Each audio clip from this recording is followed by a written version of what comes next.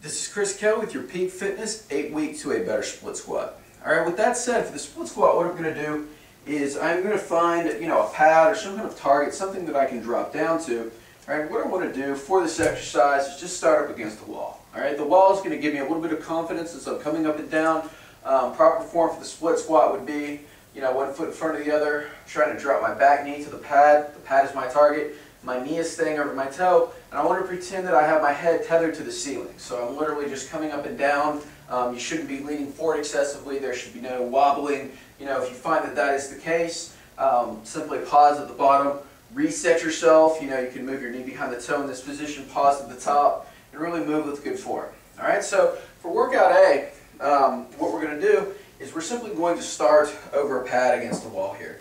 Right now, if you find that you're not able to get to the bottom of, of a uh, of the, the movement here, what we can do is we can stack several carpet squares. Um, we can put like a, a, pillow on top of this to give you a little less range of motion. Um, it reduces the demands of the exercise a little bit, and that's a good thing. So for workout A, what we're going to do is just simply lower to the bottom, pause, and come back up. All right, I'm just looking for six to eight split squats with proper form.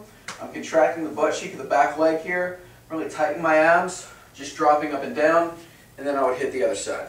All right, now once, you're, once you become pretty proficient in this, what we can do is move off the wall and simply do this with body weight only. So again, I'm holding in this position, coming down, coming back up, coming down, coming back up. And again, if you find that um, you can do that pretty easily with several carpet squares or uh, several pillows stacked on top, just remove those until you get to a more challenging depth until we're down to parallel, so almost above the ground here.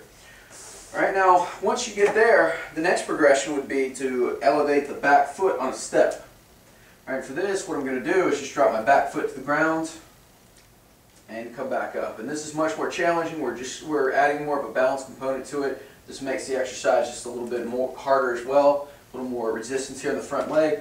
And then as you get better, we would just move this up to higher surfaces like maybe the leg of a chair, all the way up to a table or a high bench. Okay, So that would be the progression for the split squat. Um, and again, six to eight reps with good form, three to five sets throughout the day. Now for workout B, uh, really the only difference is we're going to hold in a half split squat. And the difference here is that, you know, we just want to kind of gain some confidence in these bottom positions. So what I'm going to do here is, again, set up over the pad, lower down about halfway, use the wall if I need it for balance, but I'm just holding this position. Just trying to stay straight. I'm contracting the butt cheek of this back leg. I'm holding for 10 seconds. Coming back to the top. Come down about halfway. Hold. And just repeat three times. Again, you know, the same progression applies. I would move off the wall into a more freestanding environment. And then elevate my back foot on a step in the same fashion. All in all, once you're done with this uh, progression, you know, keep, keep uh, uh, well, with this as well, I'm looking for three to five sets throughout the day. Also, three 10 second holds equals one set. Like I was saying, you know, you can do these one day, uh, you do your workout A, next day you do workout B, and just alternate these two, two workouts four to six days a week.